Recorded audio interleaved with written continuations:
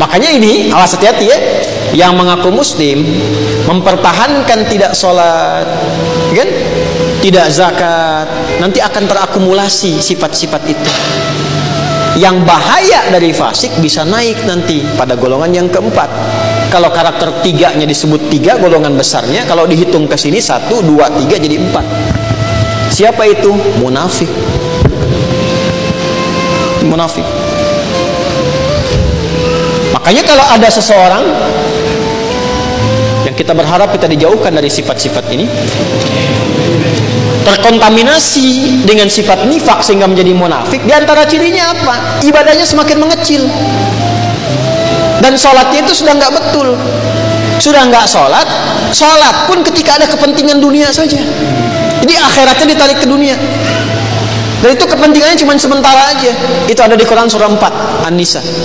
Coba dicek ayat 142 kita masih di Al-Baqarah ya ayat 21 belum masuk juga itu. An-Nisa 142 coba lihat. Innal munafiqina yukhadi'una Allah wa huwa khadi'uhum. Kemudian wa idza qamu ila salati qamu kusala yura'unan wa la yadhkuruna Allah illa qalila. Tuh. Jadi kalau sudah jadi munafik ibadahnya malas. Dan menariknya gini kalaupun ibadah cuman sedikit illa qalila. Yang sedikit itu pun cuman buat pamer aja. Nah ini dalam berkehidupan akan selalu ditemukan yang begini. Munafik penyakitnya nifak ada di mana saja bisa terjadi nanti diidentifikasi ini cirinya ini penyakitnya ini tanda-tandanya ini obatnya nah ini kalau kita bawa dalam kehidupan manusia berinteraksi ini akan ini yang kita dapati bagian-bagiannya di kantor Anda akan temukan ada orang yang hitam putih, ada orang yang abu-abu. Ada yang punya sifat-sifat yang dampaknya disebutkan. Ini kalau dibawa ke masyarakat dampaknya akan begini. Di Islam tuh konkret dan bisa diverifikasi. Nah, sekarang mana yang paling ideal?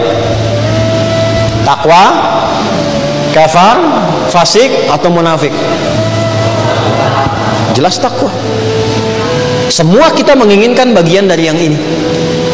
Dan kita pun tidak boleh sholat sendirian. Karena itu saya selalu mengajak.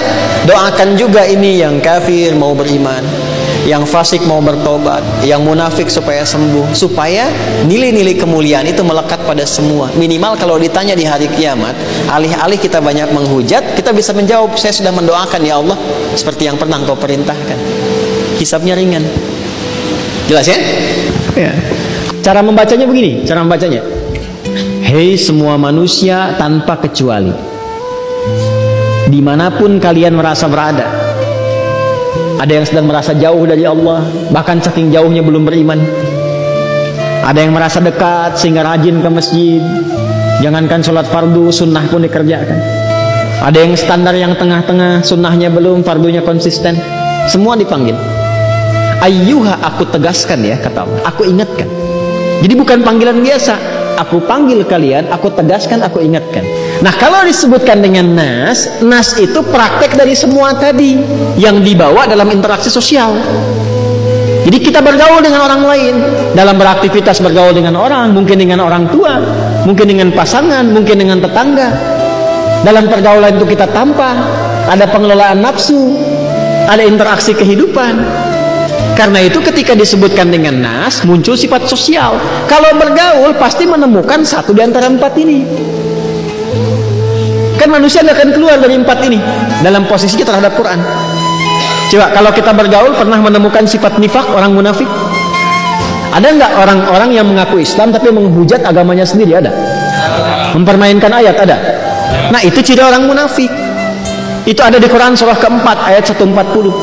Faqad nazzala 'alaikum fil kitabi an idza sami'tum ayatillahi yukfaru biha. Ngaku muslim tapi mengingkari ayat Quran. Wa yustahza'u biha. Ngaku muslim tapi mengolok-olok ayat-ayat Quran. Fala taq'udu ma'hum. Jangan sertai mereka. Hatta yahudu fi hadisin ghairi sampai dia sadar dengan kekeliruannya dan mau kembali. Innakum idzam mithluhum kalau difasilitasi didengar, dibikin ceramah, dihadiri, dibikin konten, difasilitasi seminar, lama-lama nanti ikut perilakunya begitu, menular penyakitnya. Jadi munafik itu menular.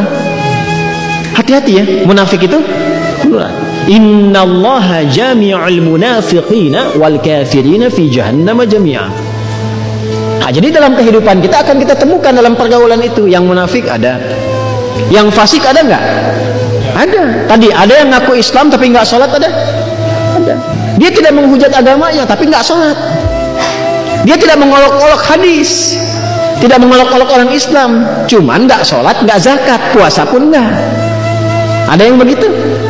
Kalau disebutkan akan ditemukan. Ya, ada yang ingkar ada, yang nggak beriman ada, ada banyak ditemukan, bahkan beragam-beragam. Apa yang diyakini bisa berbeda-beda. Nah, panggilan untuk itu semua dalam berkehidupan itu, maka panggilannya dengan panggilan umum satu kata saja, nas. Ya ayyuhan nas. Jadi kalau ditarik kepada kita, cara memahaminya begini. Misal, misal ya, misal. Ada yang namanya Joni misalnya. Ya. Hei Joni, kamu dalam posisi apa nih? Sedang jauh dari Allah, sedang dekat atau standar-standar saja? Dalam kamu berinteraksi itu, kamu akan temukan nih. Ingat ini. Ya, Allah tekankan, ingat ini ya. Kamu akan temukan karakteristik yang berbeda-beda. Fokus pelan-pelan. Dalam menyikapi itu semua yang terbaik itu berharaplah jadi yang paling ideal. Siapa yang ideal itu? Yang takwa itu. Makanya di ujung ayatnya lompat dulu ditutup dengan kalimat la'allakum tattaqun. Kamu harus jadi bagian dari yang takwa itu. Nah, la'allakum itu harfu taraji. Harapan untuk meraih sesuatu yang diinginkan tapi tidak akan terwujud kecuali dengan kesungguhan. Jadi kalau Anda ingin masuk golongan pertama, golongan takwa, nggak mungkin bisa dapat itu kecuali sungguh-sungguh untuk melatih diri sehingga jadi bagian dari golongan yang dimaksudkan. Sekarang pertanyaannya ya Allah, saya ingin sungguh-sungguh menjadi bagian dari orang takwa itu bagaimana caranya?